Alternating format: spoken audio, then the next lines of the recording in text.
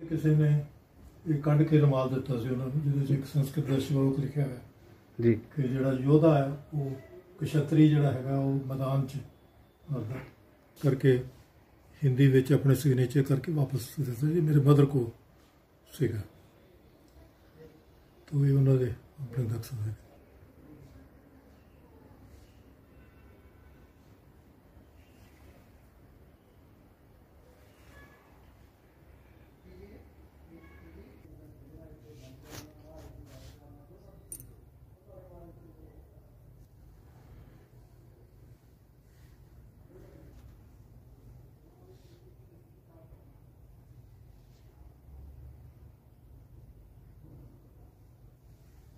ਜੇ ਬਣਾਇਆ ਸੀ ਬੱਚਿਆਂ ਨੇ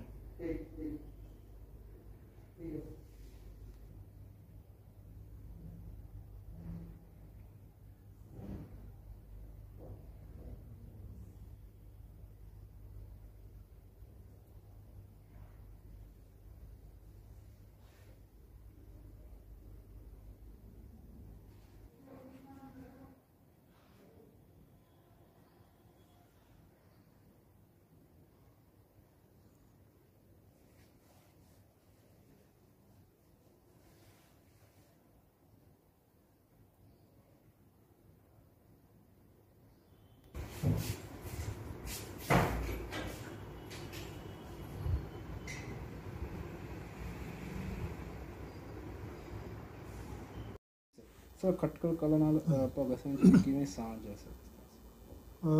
कला जो गाँव है, ये इसमें इनके बुज़ुर्ग पाक मतलब अमृतसर में एक नारली गाँव है।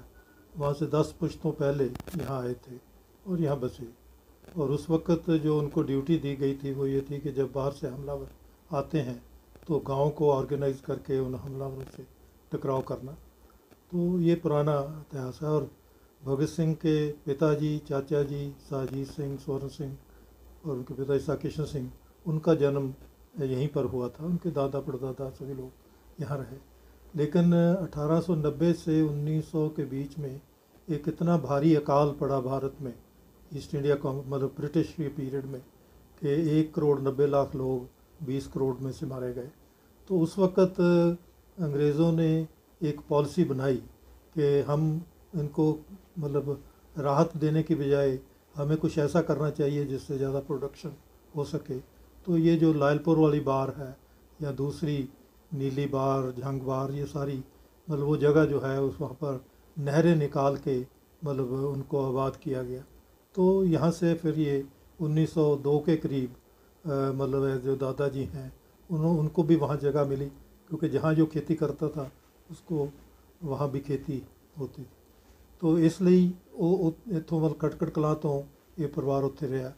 ਲੇਕਿਨ ਉਹਨਾਂ ਦੇ ਦਾਦਾ ਜੀ ਹਮੇਸ਼ਾ ਇੱਥੇ ਸਰ ਸਿੰਘ ਨੂੰ ਲੈ ਕੇ ਆਉਂਦੇ ਰਹੇ ਔਰ ਉਹ ਲਿਆ ਕੇ ਉਹਨਾਂ ਨੂੰ ਆਪਣੇ ਇਤਿਹਾਸ ਨਾਲ ਜੋੜਨਾ ਮਤਲਬ ਇੱਕ ਬਹੁਤ ਜ਼ਰੂਰੀ ਸੀ, ਕਿਉਂਕਿ ਉਹਦੇ ਨਾਲ ਕੁਝ ਇਤਿਹਾਸਕ ਗੱਲਾਂ ਖਟਕਟ ਕਲਾਂ ਨਾਲ ਜਿਹੜੀਆਂ ਪਰਿਵਾਰ ਦੀਆਂ ਜੁੜੀਆਂ ਹੋਈਆਂ ਨੇ, ਖਾਸ ਤੌਰ ਤੇ ਕਿ ਉਹਨਾਂ ਦੇ ਪੜਦਾਦਾ ਜੀ ਸਫਤਿਹ ਸਿੰਘ ਪੰਜਾਬ ਦੀ ਆਜ਼ਾਦੀ ਦੀ ਲੜਾਈ ਵਿੱਚ ਲੜਨ ਵਾਲਿਆਂ ਚੋਂ ਸੀ, ਜਦੋਂ ਈਸਟ ਇੰਡੀਆ ਕੰਪਨੀ ਨੇ ਪੰਜਾਬ ਤੇ ਹਮਲਾ ਕੀਤਾ। ਔਰ ਉਹਦੇ ਕਰਕੇ ਉਹਨਾਂ ਦੀ ਜਿਹੜੀ ਹੈ, ਅੱਧੀ ਜਾਇਦਾਦ ਜਿਹੜੀ ਹੈ, ਉਹ ਕੰਪਨੀ ਦੇ ਹੈਨਰੀ ਲਾਰੈਂਸ ਨੇ ਲਾਰੈਂਸ ਜੌਨ ਲਾਰੈਂਸ ਨੇ ਮਤਲਬ ਜਿਹੜਾ ਕਮਿਸ਼ਨਰ ਬਣਿਆ ਸੀ ਜਲੰਧਰ ਦਾ, ਉਹਨੇ ਉਹਨਾਂ ਦੀ ਖੋਹ ਲਈ ਸੀ।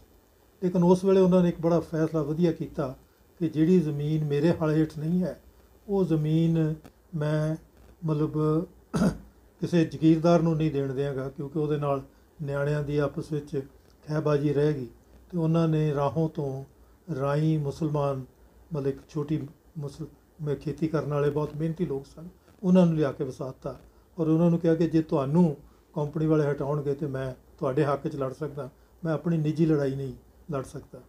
ਤੋ ਉਹਦੇ ਤੋਂ ਬਾਅਦ 1857 ਆ ਗਿਆ ਔਰ ਕਿਉਂਕਿ ਇਹ ਪੰਜਾਬ ਦੀ ਉਸ ਲਈ ਲੜੇ ਸੀ, ਜਿਹੜੇ ਜ਼ਗੀਰਦਾਰ, ਵੱਡੇ ਜ਼ਗੀਰਦਾਰ ਸੀ, ਉਹਨਾਂ ਨੇ ਅੰਗਰੇਜ਼ ਨਾਲ ਸਮਝੌਤਾ ਕਰ ਲਿਆ ਤੇ ਉਹਨਾਂ ਨੇ ਸੁਨੇਹਾ ਭੇਜਿਆ ਕਿ ਵੀ ਉਹ ਮੰਨ ਗਿਆ ਅੰਗਰੇਜ਼ ਹੁਣ ਰਾਜ ਜਿਹੜਾ ਕਿ ਵੀ ਤੁਹਾਨੂੰ ਤੁਹਾਡੀ ਜਾਇਦਾਦਾਂ ਵਾਪਸ ਕਰਤੀਆਂ ਜਾਣਗੀਆਂ, ਹੋਰ ਮਿਲੇਗੀ। ਤਾਂ ਉਹਨਾਂ ਨੇ ਕਿਹਾ ਕਿ ਇਹ ਹੀ ਸਭ ਤੋਂ ਵੱਡਾ ਜ਼ਿੰਦਗੀ ਦਾ ਮਤਲਬ ਸਵਾਲ ਹੁੰਦਾ ਹੈ। ਔਰ ਇਹ ਜਿਹੜਾ ਹੈ ਕਿ ਵੀ ਜਦੋਂ ਜਾਇਦਾਦ ਤੇ ਅਸੂਲ ਚੋਂ ਚੁਣਨਾ ਪਵੇ, ਉਸ ਵੇਲੇ ਆਦਮੀ ਦਾ ਇਮਤਿਹਾਨ ਹੁੰਦਾ ਹੈ। ਔਰ ਮੈਂ ਆਪਣੇ ਬੱਚਿਆਂ ਨੂੰ ਵੀ ਦੱਸ ਜਾਵਾਂਗਾ ਕਿ ਇਹ ਅਸੂਲ ਤੇ ਚੱਲਣਾ ਤੁਸੀਂ, ਮਤਲਬ ਜਾਇਦਾਦ ਮਗਰ ਨਹੀਂ ਜਾਣਾ। ਔਰ ਅਸੂਲ ਵੀ ਕੀ ਕਿ ਜਦੋਂ ਗੁਰੂ ਗੋਬਿੰਦ ਸਿੰਘ ਜੀ ਨੇ ਅਹ, ਮਹੰਤਾਂ ਨੂੰ ਸਜ਼ਾ ਦੇ ਕੇ ਨਵਾਂ ਰੀਓਰੀਐਂਟੇਸ਼ਨ ਕੀਤੀ ਤੇ ਖਟਕੜ ਕਲਾਂ ਵਿੱਚ ਉਹਨਾਂ ਦਾ ਝੰਡਾ ਲਵਾਇਆ ਗਿਆ ਸੀ ਜਿਹਦਾ ਅੱਜ ਵੀ ਗੁਰਦੁਆਰਾ ਝੰਡਾ ਸਾਹਿਬ ਕਹਿੰਦੇ ਨੇ। ਤਾਂ ਉਹਨਾਂ ਨੇ ਕਿਹਾ ਕਿ ਜਦੋਂ ਅਸੀਂ ਗੁਰੂ ਗੋਬਿੰਦ ਸਿੰਘ ਨਾਲ ਰਿਸ਼ਤਾ ਜੋੜਿਆ ਸੀ ਤਾਂ ਇੱਕ ਗੱਲ ਸਿੱਖੀ ਸੀ ਔਰ ਉਹ ਇਹ ਸੀ ਕਿ ਜਦੋਂ ਵੀ ਲੋਕ ਲੜਨ ਉਹਨਾਂ ਦੇ ਨਾਲ ਖੜੇ ਹੋਣਾ ਤੁਹਾਡੇ ਅਸੂਲਾਂ ਦੀ ਪੈਰੋਕਾਰੀ ਹੈ। ਤਾਂ ਇਸ ਕਰਕੇ ਮੈਂ ਅੱਜ ਮਤਲਬ ਔਰ ਇਹਦਾ ਦੇਖੋ ਅਸਰ ਜਿਹੜਾ ਹੈ ਭਗਤ ਸਿੰਘ ਦਾ ਇੱਥੇ ਆਉਣ ਦਾ ਕਿ ਭਗਤ ਸਿੰਘ ਦੇ ਆਪਣੇ ਪਿਤਾ ਜੀ ਨਾਲ ਇੱਕ ਬੜਾ ਮਤਲਬ ਉਹਨਾਂ ਨੇ ਚਿੱਠੀ ਲਿਖੀ, ਜਿਹਦੇ ਵਿੱਚ ਉਹਨਾਂ ਨੂੰ ਡਿਫਰੈਂਸਸ ਸੀਗੇ ਆਪਣੇ ਪਿਤਾ ਜੀ ਨਾਲ ਟੈਕਨੀਕਲ ਗਰਾਊਂਡ ਤੇ। ਪਰ ਉਹਨਾਂ ਨੇ ਕਿਹਾ ਕਿ ਜਦੋਂ ਮੈਨੂੰ ਜ਼ਿੰਦਗੀ ਤੇ ਅਸੂਲ ਚੋਂ ਚੁਣਨਾ ਪਏਗਾ, ਤਾਂ ਮੈਂ ਜ਼ਿੰਦਗੀ ਨਹੀਂ, ਅਸੂਲ ਚੁਣਾਂਗਾ। ਤੋ ਇਹ ਇਹ ਜਿਹੜਾ ਮਤਲਬ ਹੈ ਕਿ ਇਹ ਭਗਤ ਸਿੰਘ ਨੂੰ ਇੱਥੇ ਜਿਹੜਾ ਉਹਨਾਂ ਦੇ ਦਾਦਾ ਜੀ ਨੇ ਮਤਲਬ ਸਿਖਾਇਆ, ਔਰ ਨਾਲ ਹੀ ਜਿਹੜਾ ਅੱਜ ਜੱਦੀ ਘਰ ਹੈ, ਇਹ ਜੱਦੀ ਘਰ ਜਿਹੜਾ 1858 ਚ ਉਹਨਾਂ ਦੇ ਪੜਦਾਦਾ ਜੀ ਸਫਤ ਸਿੰਘ ਨੇ ਬਣਾਇਆ ਸੀ। ਇਹ ਕਹਿ ਕੇ ਕਿ ਮੈਂ ਦੀਵਾਨਖਾਨਾ ਬਣਾ ਰਿਹਾ। ਲੋਕਾਂ ਨੇ ਜਦੋਂ ਪੁੱਛਿਆ ਕਿ ਇਹ ਕਾਹਦੇ ਲਈ, ਉਹ ਕਹਿੰਦੇ ਵੀ ਦੇਖੋ, ਤੁਸੀਂ ਇਹ ਗੱਲ ਸਮਝ ਲਓ ਕਿ ਸਰਕਾਰਾਂ ਨੇ ਆਉਂਦੇ ਜਾਂਦੇ ਰਹਿਣਾ ਹੈ। ਤੁਹਾਡਾ ਕੰਮ ਉਹਨਾਂ ਚਿਰ ਤੱਕ ਨਹੀਂ ਹੋਣਾ ਜਿੰਨਾ ਚਿਰ ਤੱਕ ਤੁਸੀਂ ਆਪਣੀਆਂ ਸਮੱਸਿਆਵਾਂ ਨੂੰ ਮਤਲਬ ਨਜਿੱਠ ਨਹੀਂ ਲੈਂਦੇ। ਔਰ ਅਗਰ ਤੁਸੀਂ ਉਹ ਉਹ ਸਮੱਸਿਆਵਾਂ ਜਿਹੜੀਆਂ ਨੇ ਉਹ ਅੰਗ ਲਈਆਂ, ਫਿਰ ਉਹਨਾਂ ਦਾ ਹੱਲ ਨਿਕਲੇਗਾ। ਤੋ ਇਹ ਇਹ ਮੈਂ ਸਮਝਦਾ ਕਿ ਅੱਜ ਵੀ ਔਰ ਉਹ ਜਿਹੜਾ ਜੱਦੀ ਘਰ ਹੈ, ਉਹ ਉਸ ਗੱਲ ਦੀ ਯਾਦ ਦਿਲਾਉਂਦਾ ਹੈ। ਕਿ ਵੀ ਲੋਕਾਂ ਨੂੰ ਆਪਣੇ ਫੈਸਲੇ, ਆਪਣੀਆਂ ਪ੍ਰੋਬਲਮਸ ਨੂੰ ਇਕੱਠੇ ਬਹਿ ਕੇ ਸੋਚਣਾ ਚਾਹੀਦਾ ਔਰ ਇਹੀ ਹੈ ਕਿ ਜਦੋਂ ਮਤਲਬ ਭਗਤ ਸਿੰਘ ਦਾ ਜ਼ਿਆਦਾ ਸਮਾਂ ਤੇ ਪਾਕਿਸਤਾਨ 105 ਚੱਕ ਉਹਨੂੰ ਵੀ ਬੰਗੇ ਕਹਿੰਦੇ ਨੇ, ਕਿਉਂਕਿ ਜਿਹੜੇ ਇੱਥੋਂ ਜਦੋਂ ਗਏ, ਆਪਣਾ ਨਾਮ ਵੀ ਨਾਲ ਲੈ ਕੇ ਗਏ, ਤੇ ਉਹ ਉੱਥੇ ਪੈ ਹੋਇਆ। ਲੇਕਿਨ ਇਹ ਜਿਹੜਾ ਵੈਲਿਊਜ਼ ਦੇ ਨਾਲ ਉਹਨਾਂ ਦੇ ਦਾਦਾ ਜੀ ਦਾ ਉਹਨਾਂ ਨੂੰ ਜੋੜਨਾ ਹੈ, ਕਿਉਂਕਿ ਦਾਦਾ ਜੀ ਆਪਣੇ ਉਹਨਾਂ ਦੇ ਇੱਕ ਵੱਡੇ ਭਰਾ ਜਗਤ ਸਿੰਘ ਸੀ, ਉਹਨਾਂ ਦੋਵਾਂ ਨੂੰ ਲੈ ਕੇ ਆਉਂਦੇ ਸੀ। ਸਰ ਜਗਤ ਸਿੰਘ ਉਹਨਾਂ ਦੀ 11 ਸਾਲ ਦੀ ਉਮਰ ਵਿੱਚ ਉਦੋਂ ਜਦੋਂ ਬਹੁਤ ਵੱਡਾ ਫਲੂ ਆਇਆ, ਉਹਦੇ ਵਿੱਚ ਡੈਥ ਹੋ ਗਈ ਸੀ। ਲੇਕਿਨ ਮਤਲਬ ਇਹ ਇਹ ਖਟਕੜ ਕਲਾ, ਉਹਨਾਂ ਵੈਲਿਊਜ਼ ਦਾ ਮਤਲਬ ਇੱਕ ਜਿਹੜਾ ਹੈ, ਜਿਹੜਾ ਭਗਤ ਸਿੰਘ ਉਹਨਾਂ ਨੂੰ ਮਤਲਬ ਲਗਾਤਾਰ ਪ੍ਰੇਰਦਾ ਵੀ ਰਿਹਾ। ਦੂਜੇ ਬੰਨੇ ਹੈ ਕਿ ਜ਼ਿਆਦਾ ਉਹਨਾਂ ਨੇ ਆਪਣਾ ਮਤਲਬ ਪੜ੍ਹਾਈ ਵੀ ਉੱਥੇ ਕੀਤੀ, ਮਤਲਬ ਫਿਰ ਉਹ ਤੋਂ ਬਾਅਦ ਲਾਹੌਰ ਰਹੇ। ਤੇ ਸੋ ਸੋ ਇਸ ਕਰਕੇ ਖਟਕੜ ਕਲਾਂ ਦੀ ਜਿਹੜੀ ਮੈਂ ਸਮਝਦਾ ਕਿ ਇੱਕ ਨੀਂਹ ਦੇ ਤੌਰ ਤੇ ਜਾਂ ਉਹਨਾਂ ਦੇ ਵਿਚਾਰਾਂ ਦੇ ਵਿੱਚ ਉਹ ਦ੍ਰਿੜਤਾ ਜਿਹੜੀ ਜਿਹੜੀ ਉਹਨਾਂ ਦੇ ਚਾਚਾ ਜੀ ਸਰ ਅਜੀਤ ਸਿੰਘ ਉਹਨਾਂ ਨੇ ਆਪਣੇ, ਉਹਨਾਂ ਨੇ ਵੀ ਕਿਹਾ ਕਿ ਜਿਹੜੇ ਮੇਰੇ ਦਾਦਾ ਜੀ ਨੇ ਮੈਨੂੰ ਗੱਲਾਂ ਕਹੀਆਂ ਸਨ, ਉਹਦੇ ਕਰਕੇ ਹੀ ਮੈਂ 40 ਸਾਲ ਅੰਗਰੇਜ਼ ਸਾਮਰਾਜ ਦੇ ਖਿਲਾਫ ਦੁਨੀਆ ਭਰ ਵਿੱਚ ਲੜਦਾ ਰਿਹਾ ਔਰ ਅਖੀਰ ਤੇ 15 ਅਗਸਤ 1947 ਨੂੰ ਵਾਪਸ ਭਾਰਤ ਆਣ ਕੇ ਉਹਨਾਂ ਨੇ ਆਪਣਾ ਸਰੀਰ ਤਿਆਗਿਆ ਤੋ ਇਸ ਕਰਕੇ ਹੈ ਕਿ ਇਹਦੇ, ਇਹਦਾ ਇੱਕ ਬਹੁਤ ਅਹਿਮ ਭੂਮਿਕਾ ਹੈ ਜੇ ਆਪਾਂ ਸਮਝੀਏ ਔਰ ਜਿਹੜਾ ਪਾਕਿਸਤਾਨ ਵਾਲਾ ਹੈ, ਉਹ ਉਹਨਾਂ ਦੀ ਪੂਰੀ ਬਾਕੀ ਜਿਹੜੀ ਮਤਲਬ ਪੜ੍ਹਾਈ ਉੱਥੇ ਸਾਰਾ ਸਿੱਖਣਾ ਉਹ ਵੀ ਦਾਦਾ ਜੀ ਦੇ ਨਾਲ ਔਰ ਫਿਰ ਲਾਹੌਰ ਜਿਹੜਾ ਹੈ ਔਰ ਉਸ ਤੋਂ ਬਾਅਦ ਤੇ ਪੂਰੇ ਹਿੰਦੁਸਤਾਨ ਵਿੱਚ ਉਹਨਾਂ ਨੇ ਆਪਣੇ ਆਪ ਨੂੰ ਵਿਕਸਿਤ ਕੀਤਾ।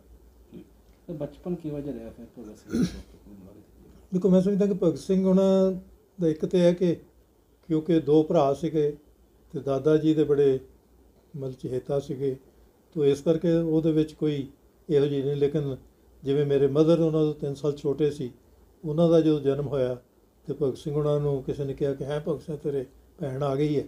ਲੇਕਿਨ ਕਿਉਂਕਿ ਦਾਦਾ ਜੀ ਨੇ ਇਹ ਸਵਾਲ ਉੱਤੇ ਵੀ ਕਿਉਂਕਿ ਉਹ ਸਮਾਜ ਦਾ ਸਭ ਤੋਂ ਮਾੜਾ ਹਾਲ ਸੀ ਕਿ ਸਮਾਜ ਵਿੱਚ ਲੜਕੀਆਂ ਨੂੰ ਉਦੋਂ ਬਹੁਤ ਮਾਰਿਆ ਜਾਂਦਾ ਸੀ। ਔਰ ਖਾਸ ਤੌਰ ਤੇ ਜਿਹੜੇ ਅੰਗਰੇਜ਼ ਪ੍ਰਸਤ ਅ, ਮਤਲਬ ਜਗੀਰਦਾਰ ਸੀ ਉਹਨਾਂ ਦੇ ਘਰਾਂ ਵਿੱਚ ਤੇ ਬੱਚੀਆਂ ਬਚਦੀਆਂ ਨਹੀਂ ਸੀ। ਤੇ ਉਹਦੇ ਵਿੱਚ ਭਗਤ ਸਿੰਘ ਉਹਨਾਂ ਨੂੰ ਕਿਸੇ ਨੇ ਕਿਹਾ ਭਗਤ ਸਿੰਘ ਤੇਰੇ ਭੈਣ ਆ ਗਈ ਤੇ ਉਹਨਾਂ ਨੇ ਕਿਹਾ ਕਿ ਮਤਲਬ ਕੀ ਫ਼ਰਕ ਪੈਂਦਾ ਭੈਣ ਦਾ? ਕਿਉਂਕਿ ਮਤਲਬ ਉਹ ਚਾਰ ਆਨੇ ਹੋਏ ਤੇ ਅੰਦਰ ਵੜ ਕੇ ਵਿਆਹ ਲਾਂਗੇ, ਰੁਪਈਆ ਹੋਇਆ ਤੇ ਕੋਠੇ ਤੇ ਚੜ੍ਹ ਕੇ ਵਿਆਹ ਲਾਂਗੇ। ਭੈਣ ਦਾ ਕੀ ਭਾਰ ਹੈ? ਤਾਂ ਮਤਲਬ ਇਹ ਵੈਲਿਊਜ਼ ਔਰ ਇਸੇ ਤਰ੍ਹਾਂ ਹੀ ਕਿਉਂਕਿ ਉਹਨਾਂ ਦੇ ਪੜਦਾਦਾ ਜੀ ਸਾਰਜਨ ਸਿੰਘ ਜਿਹੜੇ ਨੇ, ਉਹ ਸਮਾਜ ਦੀਆਂ ਬੁਰਾਈਆਂ ਦੇ ਖਿਲਾਫ ਵੀ ਲੜਦੇ ਸਨ। ਸ਼ੂਆਸ਼ਾਤ ਦੇ ਖਿਲਾਫ ਉਹ ਬਹੁਤ ਮਤਲਬ ਨਿੱਠ ਕੇ ਜਿਹੜਾ ਭਗਤ ਸਿੰਘ ਉਹਨਾਂ ਦੇ ਵਿਚਾਰਾਂ ਵਿੱਚ ਵੀ ਮਤਲਬ ਉਹਦਾ ਅਸਰ ਰਿਹਾ। ਤੇ ਉਹਨਾਂ ਨੇ ਵੀ ਬਰਾਬਰਤਾ ਤੇ ਭਾਈਚਾਰੇ ਦੀ ਗੱਲ ਕੀਤੀ, ਉਹ ਵੀ ਬਰਾਬਰਤਾ ਦੀ ਗੱਲ ਕਰਦੇ ਸੀ। ਤੋ ਇਸ ਕਰਕੇ ਬਚਪਨ ਵਿੱਚ ਜਿੱਦਾਂ ਮੈਂ ਸਮਝਦਾ ਕਿ ਜਿਹੜਾ ਸਭ ਤੋਂ ਵੱਡਾ ਸਵਾਲ ਮੈਂ ਹੱਲ ਕਰਨ ਦੀ ਕੋਸ਼ਿਸ਼ ਕੀਤੀ ਕਿ 12 ਸਾਲ ਦਾ ਭਗਤ ਸਿੰਘ ਜਲਿਆਂਵਾਲੇ ਬਾਗ ਕਿਉਂ ਆਇਆ? 12 ਸਾਲ ਦੇ ਬੱਚੇ ਦੀ ਕੀ ਮੋਟੀਵੇਸ਼ਨ ਹੈ? ਤੇ ਜਦੋਂ ਮੈਂ ਘਰ ਦੇ ਪੂਰੇ ਹਾਲਾਤ ਨੂੰ ਭਾਫਿਆ ਔਰ ਉਹ ਤੋਂ ਬਾਅਦ ਲੱਗਾ ਕਿ ਜਿਹੜੇ ਉਹਨਾਂ ਦੇ ਤਾਇਆ ਜੀ ਅੰਗਰੇਜ਼ ਪ੍ਰਸਤ ਹੋ ਗਏ ਸੀ, ਉਹ ਆਣ ਕੇ ਉੱਥੇ ਹੀ ਘਰ 'ਚ ਬਹਿ ਕੇ ਗੱਲ ਕਰਦੇ ਨੇ। ਅੰਗਰੇਜ਼ ਤੇ ਬੜਾ ਇਨਸਾਫ ਪਸੰਦ ਹੈ। ਉਹ ਤੇ ਕੋਈ ਇਦਾਂ ਦੇ, ਇਹ ਗੱਲ ਜਿਹੜੀ ਝੂਠੀ ਹੈ, ਐਵੇਂ ਲੋਕੇ ਝੂਠੀਆਂ ਹਵਾਵਾਂ ਉਡਾਉਂਦੇ ਰਹਿੰਦੇ ਨੇ। ਜ਼ਰੂਰ ਕਿਸੇ ਉਹਨਾਂ ਨੂੰ ਮਤਲਬ ਕੋਈ ਸ਼ਰਾਰਤ ਕੀਤੀ ਹੋਣੀ ਹੈ। ਤਾਂ ਮੈਂ ਕਿਹਾ ਭਗਤ ਸਿੰਘ ਦੇ ਦਾਦਾ ਜੀ ਨੇ ਉਹਨੂੰ ਇੱਕੋ ਹੀ ਗੱਲ ਕਹੀ ਸੀ ਵੀ ਕੋਈ ਗੱਲ ਜਸ ਸੁਣ ਕੇ ਨਹੀਂ ਮੰਨਣੀ। ਉਹਨੂੰ ਪਰਖ ਕੇ ਦੇਖੋ। ਔਰ ਉਹ ਉਹ, ਉਹੀ ਮੋਟੀਵੇਸ਼ਨ ਹੈ ਕਿ 12 ਸਾਲ ਦਾ ਬੱਚਾ ਕਰਫਿਊ ਦੇ ਵਿੱਚ ਔਰ ਸਾਰੇ ਹਾਲਾਤਾਂ ਵਿੱਚ ਵੀ ਉੱਥੇ ਪਹੁੰਚਦਾ ਔਰ ਉਸ ਅਸਲੀਅਤ ਨੂੰ ਔਰ ਉੱਥੋਂ ਦੀ ਖੂਨ ਭੀਜੀ ਮਿੱਟੀ ਨੂੰ ਉਹ ਦੇਖਦਾ ਔਰ ਆਣ ਕੇ ਮੇਰੇ ਮਦਰ ਨੂੰ ਜਿਹੜਾ ਉਹਨਾਂ ਨੇ ਸ਼ਬਦ ਕਹੇ ਕਿ ਵੀ ਅੰਗਰੇਜ਼ ਦੇਖੋ ਕਿੰਨਾ ਜ਼ਾਲਮ ਹੈ ਕਿ ਉਹ ਉਹ ਸਾਡੇ ਤੇ ਸਿਰਫ ਰਾਜ ਹੀ ਨਹੀਂ ਕਰਦਾ, ਉਹ ਸਾਨੂੰ ਇੰਨੀ ਬੁਰੀ ਤਰ੍ਹਾਂ ਸਾਡੇ ਲੋਕਾਂ ਨੂੰ ਤੇ ਜ਼ੁਲਮ ਕਰਦਾ ਮਾਰਦਾ ਹੈਗਾ। ਤੋ ਮਤਲਬ ਹੈ ਕਿ ਬਚਪਨ ਵਿੱਚ ਭਗਤ ਸਿੰਘ ਉਹਨਾਂ ਦਾ ਮਤਲਬ ਕਾਫੀ ਕੋਈ ਇਦਾਂ ਦੀ ਤੇ ਨਹੀਂ ਹੈ, ਲੇਕਿਨ ਕਿਉਂਕਿ ਉਹਨਾਂ ਦੇ ਬ੍ਰਦਰ ਦਾ ਜਾਣਾ, ਉਹ ਸ਼ਾਇਦ ਉਹਨਾਂ ਦਾ ਰਿਫਲੈਕਟ ਹੁੰਦਾ ਜਦੋਂ ਕਰਤਾਰ ਸਿੰਘ ਸਰਾਭਾ ਤੇ ਆਰਟੀਕਲ ਲਿਖਦੇ ਨੇ ਕਿ ਵੀ ਮਤਲਬ ਸਾਰੇ ਜਿਹੜੇ ਤੁਹਾਡੇ ਪਿਆਰੇ ਹੁੰਦੇ ਨੇ ਵਿਛੜ ਜਾਂਦੇ ਨੇ ਲੇਕਿਨ ਤੁਸੀਂ ਆਪਣੇ ਜੀਵਨ ਚ ਅੱਗੇ ਵਧਦੇ ਰਹਿੰਦੇ ਹੋ। ਜੀ। ਸਰ ਇੱਕ ਤਾਂ ਹੋਰ ਕਿ ਬਚਪਨ ਵਿੱਚ ਕਿੱਥੇ ਜਾ ਸਮਾਂ ਨਿਕਲਿਆ ਉਹਨਾਂ ਦਾ ਜ਼ਿਆਦਾ ਸਮਾਂ? ਦੇਖੋ ਉਹਦੇ ਚ ਮਤਲਬ ਮੈਂ ਸਮਝਦਾ ਕਿ ਪਹਿਲਾ ਪੀਰੀਅਡ ਜਿਹੜਾ ਹੈ ਉਹ ਤੇ ਜ਼ਿਆਦਾ 105 ਚੱਕ ਬੰਗੇ ਪਾਕਿਸਤਾਨ 'ਚ ਹੀ ਹੈਗਾ ਕਿਉਂਕਿ ਪ੍ਰਾਇਮਰੀ ਤੱਕ ਉਹ ਉੱਥੇ ਪੜ੍ਹੇ ਨੇ। ਉੱਥੇ ਹੀ ਉਹਨਾਂ ਦੀ ਮਤਲਬ ਸਾਰੇ ਮਤਲਬ ਉਹਨਾਂ ਨੇ ਹਾਲਾਤ ਦੇਖੇ।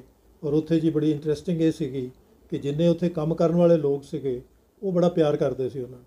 ਉਹ ਇਸ ਕਰਕੇ ਕਰਦੇ ਸੀ ਕਿ ਬਾਬਾ ਜੀ ਮਤਲਬ ਕੰਮ ਕਰਨ ਵਾਲਿਆਂ ਦੇ ਹੱਕ 'ਚ ਸੀਗੇ। ਕਿਉਂਕਿ ਜਿਹੜੇ ਅੰਗਰੇਜ਼ ਪ੍ਰਸਤ ਸਾਡੀ ਫੈਮਿਲੀ ਦਾ ਮੈਂਬਰ ਹੋ ਗਏ, ਉਹਨਾਂ ਤੋਂ ਮੰਗਲ ਸਿੰਘ ਉੱਥੇ ਹੁੰਦਾ ਸੀ। ਉਹ ਉਹ ਜ਼ੁਲਮ ਕਰਦਾ ਸੀ ਉਹਨਾਂ ਨੂੰ ਕਈ ਵਾਰੀ ਡਾਂਗ ਔਰ ਚਾ- ਉਹ ਕਿਉਂਕਿ ਉਹਨਾਂ ਦੇ ਮਤਲਬ ਚਾਚਾ ਜੀ ਹੋਣ ਕਰਕੇ, ਉਹ ਬਜ਼ੁਰਗ ਹੋਣ ਕਰਕੇ ਉਹ ਉਹਨੂੰ ਡਾਂਗ ਨਾਲ ਲੋਕਾਂ ਦੇ ਸਾਹਮਣੇ ਕੁੱਟ ਵੀ ਦਿੰਦੇ ਸੀ। ਮਤਲਬ ਜ਼ੁਲਮ ਨੂੰ ਇਦਾਂ ਉਹ ਸਾਰਾ ਬਚਪਨ ਜਿਹੜਾ ਹੈ, ਉਹ ਮਤਲਬ ਮੈਂ ਸਮਝਦਾ ਕਿ ਉਹਨਾਂ ਦੇ ਤੁਸੀਂ ਸਮਝੋ ਕਿ ਸੱਤ ਤੋਂ ਮਤਲਬ ਪੈਦਾ ਹੋਏ ਉੱਥੇ ਔਰ 16 ਤੱਕ 9 ਸਾਲ ਜਿਹੜੇ ਨੇ, ਉਹ ਮੁਲਕ ਉੱਥੇ ਬੰਗਿਆਂ 'ਚ ਜ਼ਿਆਦਾ ਟਾਈਮ ਰਹੇ। ਗਰਮੀਆਂ ਵਿੱਚ ਇੱਥੇ ਖਟਖਟ ਕਲਾਂ, ਮਤਲਬ ਆਪਣੇ ਦਾਦਾ ਜੀ ਨਾਲ ਹਰ ਗਰਮੀਆਂ 'ਚ ਆਉਂਦੇ ਸੀ।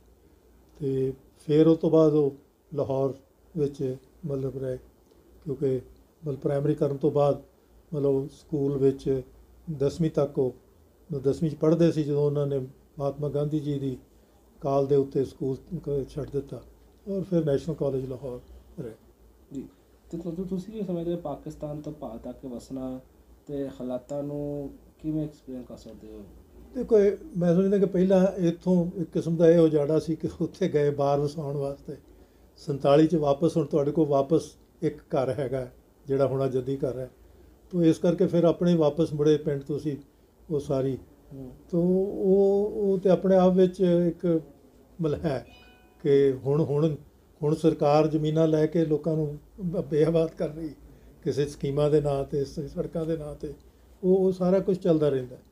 ਲੇਕਿਨ ਵਾਪਸ ਇੱਥੇ ਆਣ ਕੇ ਜਿਹੜਾ ਸਰ ਕਿਸ਼ਨ ਸਿੰਘ ਜੀ ਨੇ ਦੋ ਇੱਕ ਫੈਸਲੇ ਇੱਕ ਤੇ ਹੈ ਕਿ ਵੀ ਉੱਥੇ ਪੁਰਾਣਾ ਜਿਹੜਾ ਬੰਗੇ ਪਾਕਿਸਤਾਨ ਸੀ, ਉੱਥੇ ਹਰ ਸਾਲ ਉਹਨਾਂ ਦਾ ਸ਼ਹੀਦੀ ਮੇਲਾ ਲੱਗਦਾ ਸੀ, ਮਤਲਬ ਰਾਜਗੁਰੂ ਸੁਖਦੇਵ ਭਗਤ ਸਿੰਘ ਦਾ। ਜਦੋਂ ਇੱਥੇ ਆਏ ਤੇ ਮਤਲਬ ਇੱਕ ਸਾਲ ਨਹੀਂ ਲੱਗਾ, ਕਿਉਂਕਿ 47 ਤੇ ਉਹਦਾ ਮਤਲਬ ਅਗਸਤ ਵਿੱਚ ਹੀ ਹੋਇਆ।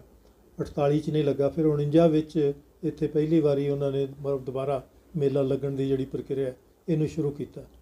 ਔਰ ਉਹਦੇ ਵਾਸਤੇ ਫਿਰ ਇਹ ਸੀ ਵੀ ਉਦੋਂ ਕਣਕ ਦੇ ਹੁੰਦਾ, ਕਣਕ ਦੇ ਖੇਤ ਖਾਲੀ ਕਰਕੇ ਕਣਕ ਵੱਢ ਕੇ, ਕੱਚੀ ਕਣਕ ਵੱਢ ਕੇ ਮਤਲਬ ਕੀਤੇ ਜਾਂਦੇ ਸੀ। ਤੇ ਜਿਹੜੀ ਹੁਣ ਜਗ੍ਹਾ ਉੱਥੇ ਮਤਲਬ ਮੇਨ ਰੋਡ ਦੇ ਉੱਤੇ ਹੈ, ਉਹ ਭਗਤ ਸਿੰਘ ਦੇ ਨਾਂ ਹੈ। ਉਹਨਾਂ ਦੇ ਪਿਤਾ ਜੀ ਨੇ ਜ਼ਮੀਨ ਚੋਂ, ਆਪਣੀ ਜ਼ਮੀਨ ਚੋਂ ਹਿੱਸਾ ਕੱਢ ਕੇ ਭਗਤ ਸਿੰਘ ਦੇ ਨਾਂ ਲਵਾਤਾ ਔਰ ਮਰਬੇਬੰਦੀ ਚ ਉਹਨੂੰ ਸੜਕ ਤੇ ਲੈ ਆਂਦਾ ਤਾਂ ਕਿ ਲੋਕਾਂ ਨੂੰ ਇਕੱਠੇ ਹੋਣ ਵਾਸਤੇ ਇੱਕ ਜਗ੍ਹਾ ਜਿਹੜੀ ਹੈ ਉਹ ਰਵੇ। ਔਰ ਉਹਦੇ ਤੋਂ ਬਾਅਦ ਹੀ ਹੁਣ ਜਿਹੜੀ ਹੈ ਮਿਊਜ਼ੀਅਮ ਪਹਿਲਾਂ ਉੱਥੇ ਹਾਲ ਵੀ ਬਣਿਆ ਸੀ ਮੇਰੇ ਮਦਰ ਨੇ ਕੋਸ਼ਿਸ਼ ਕੀਤੀ ਸੀ। ਇੱਕ ਸਰ ਹੋਰ ਪੁੱਛਣਾ ਚਾਹਾਂਗੇ ਜੇ ਜਿਹੜਾ ਅਗਰ ਪਾਕਿਸਤਾਨ 'ਚ ਹੈ ਫਿਰ ਕੋਲ ਲੱਗਦਾ ਕਿ ਉੱਥੇ ਜਾ ਸਮਾਂ ਲੱਗਿਆ ਇੱਥੇ ਸਮਾਂ ਰਹੇ ਨੇ ਕਾਫੀ ਇਸ ਵਕਤ ਜ਼ਿੰਦਗੀ ਹੋ ਇਹ ਦੇਖੋ ਮੈਂ ਸਮਝਦਾ ਕਿ ਸਮੇਂ ਨਾਲੋਂ ਜ਼ਿਆਦਾ ਵੈਲਿਊਜ਼ ਦੇਣਾ ਹੈ ਕਿਉਂਕਿ ਇਹਦੇ ਨਾਲ ਟ੍ਰੈਡੀਸ਼ਨ ਜੁੜੀਆਂ ਹੋਈਆਂ। ਤੋ ਇਸ ਕਰਕੇ ਭਗਤ ਸਿੰਘ ਦਾ ਵੀ ਉਹ ਇੱਥੇ ਇਹਦੇ ਉਹ ਤਾਂ ਹੀ ਮੈਂ ਜਿਹੜਾ ਤੁਹਾਨੂੰ ਕਿਹਾ ਕਿ ਜਿਹੜੇ ਅਸੂਲ ਇੱਥੇ ਕਹੇ ਗਏ, ਉਹ ਅਸੂਲਾਂ ਤੇ ਕਿਵੇਂ ਉਹਨਾਂ ਨੇ ਉਹਨਾਂ ਨੂੰ ਤੁਹਾਨੂੰ ਜ਼ਿੰਦਗੀ ਚੋਂ ਲੱਭਦਾ। ਪਲੱਸ ਹੈਗਾ ਕਿ ਉੱਥੇ ਉਹ ਪਲੇ ਨੇ, ਕਿਉਂਕਿ ਬਚਪਨ ਮਤਲਬ ਫੈਮਿਲੀ ਉੱਥੇ ਹੈਗੀ ਹੈ। ਤੇ ਪਹਿਲੇ ਪ੍ਰਾਇਮਰੀ ਸਕੂਲ ਤੱਕ ਮਤਲਬ ਪੜ੍ਹਨ ਦਾ ਮਤਲਬ ਉੱਥੇ ਮਤਲਬ ਮੌਕਾ ਮਿਲਿਆ ਉਹਨਾਂ ਨੂੰ।